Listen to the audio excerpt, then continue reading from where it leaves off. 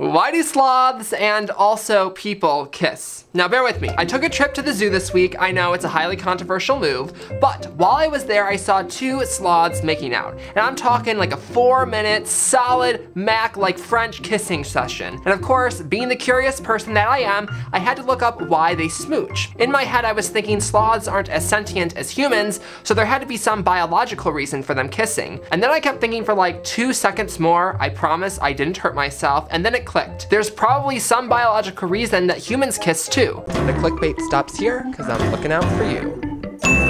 Hello squids and welcome. I hope you are smiling, being productive, and working hard to accomplish your goals. I'm your boy, Timothy Bach. Let's get right into the smooch a smooch video. Let's start with the sloth question. Scientists believe it fulfills a biological function where during the kiss there is an exchange of bacteria and enzymes. According to the Sloth Institute, two-toed sloths also use kissing as a way to greet and show affection to their fellow hanging sloth friends. And so concludes my two-hour research bunny trail where I mostly just watched videos of cute sloths hanging and doing random stuff, but it was not in waste because truthfully, the biological function kissing serves for sloths plays a very similar role to that of us humans. As for us humans, science is a bit inconclusive about there being just one specific reason, but the top theories are as follows. First, like sloths, kissing is a biological function used to strengthen an individual's immune system by transferring bacteria and enzymes. In theory, kissing is actually a really gross thing to do.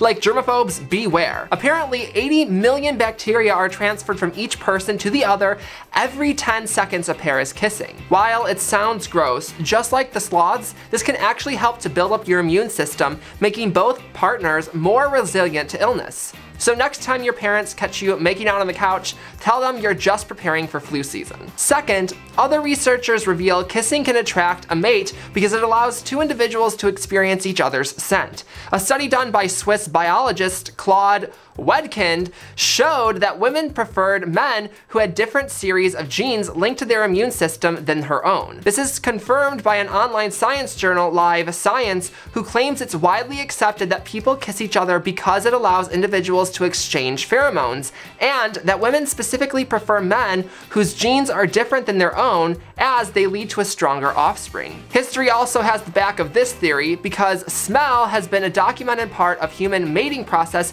as far back back as 25 to 3500 years ago in India. Ancient texts show that glands under the eyes would let off a unique smell, and these ancient Indians would literally sniff each other's faces when trying to find a partner. Some anthropologists believe that over time this could have led to kissing, potentially starting as a simple slip, they would have found it would be a much more pleasurable experience than just sniffing. Which leads to our third and final reason, that is being people kiss because it feels good. According to Vaughn Bryant, an anthropologist working with the BBC, our lips are extremely sensitive as they contain more nerve neurons in one concentrated place than anywhere else in our bodies aside from genitalia.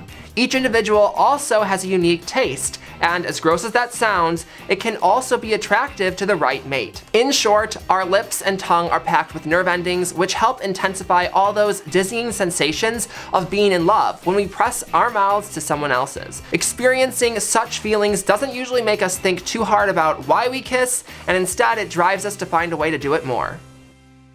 Alright guys, I hope you found this educational, and if you have any questions or interesting new theories, let me know them down in the comment section below. Y'all always amuse me, and I'll try to comment back whenever possible. And don't forget to hit that subscribe button if you haven't already. Stay you, stay beautiful. I'm Timothy Bach, and until next time, keep your smile side up. Bye-bye.